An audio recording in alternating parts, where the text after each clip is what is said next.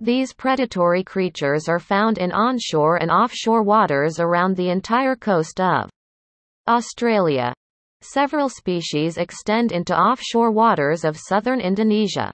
The newly identified species can be readily distinguished from other Amoria species by the combination of small shell size, fusiform shape, high spire, equal-sized thick columellar plates and a single, large undulation of the axial lines.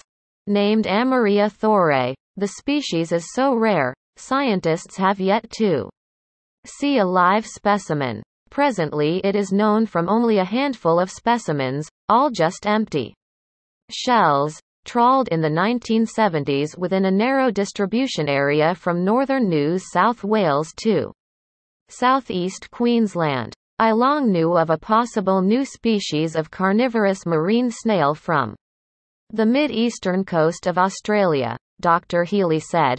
I'd seen a shell of this marine snail. Illustrated in a book, but not officially described, so you can imagine my delight when photographing this new collection, I found not one, but two specimens of this potentially new species.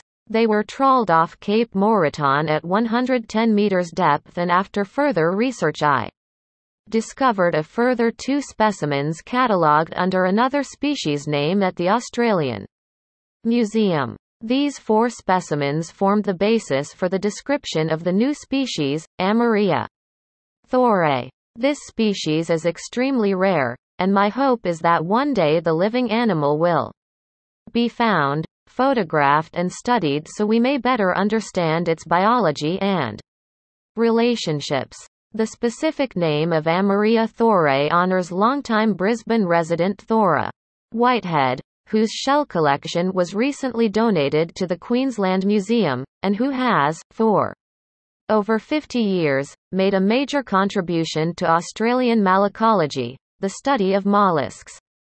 The Thora Whitehead collection is one of the largest and most comprehensive private collections of marine shells in Australia and contains thousands of species, including numerous rarities and foreign species many collected by Thora herself, Dr. Healy said. It will contribute not only to the expansion of the museum's mollusk collection, but also assist the international scientific community with research